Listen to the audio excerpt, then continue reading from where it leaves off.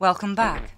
After that grueling business last year, I decided to build this assault course to hone my skills and learn some new ones.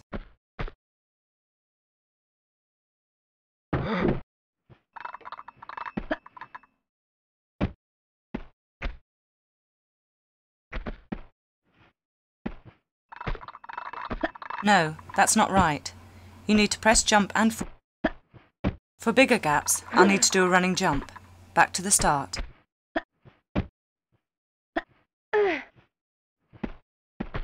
To climb up, press...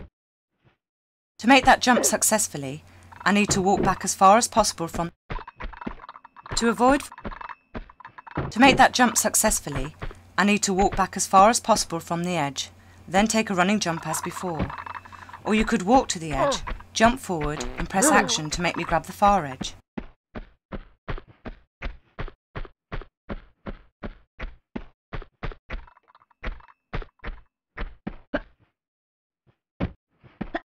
For bigger gaps, I'll need to do a running jump.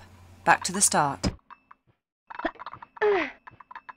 To climb up, press forward and then hold down the action button. OK, that was quite a tough one. You need to make a running jump and then press action for me to grab the edge. To get the run up exactly right, walk to the edge, then tap backwards to jump back. If you run forwards from there and press jump, I'll make it just right.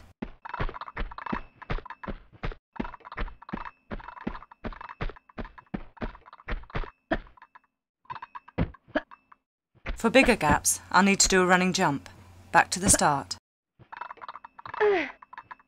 To climb up, press forward and then hold down the action button. OK, that was quite a tough one. You need to make a running jump and then press action for me to grab the edge. To get the run up exactly right, walk to the edge, then tap backwards to jump back. If you run forwards from there and press jump, I'll make it just right.